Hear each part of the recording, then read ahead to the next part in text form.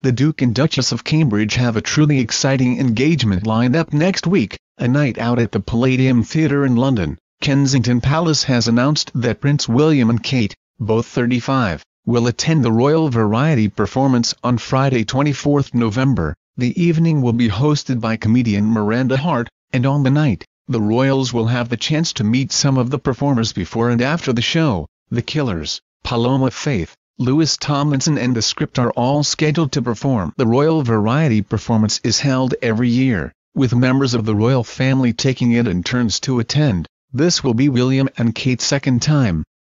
They attended in 2014 when the Duchess was expecting Princess Charlotte. Last year, Prince Charles and his wife Camilla made an appearance. The event is in aid of the Royal Variety Charity, formerly, the Entertainment Artists Benevolent Fund, of which the Queen is patron. The money raised from the show helps hundreds of entertainers throughout the UK, who need help and assistance as a result of old age, ill health, or hard times. Fashion watchers are no doubt excited to see which glittering gown the Duchess will dress her growing baby bump in. Earlier this month, Kate dazzled in a black lace Diane von Furstenberg Zarita creation, which she wore back in 2014 when she was pregnant with Princess Charlotte. Kate, who was attending a charity gala for the Anna Freud National Center for Children and Families at Kensington Palace, showed off just a hint of her bump. The mother of two has showed no signs of slowing down in her third pregnancy. She made a strong return to royal duties in October, having taken a break due to her battle with severe morning sickness.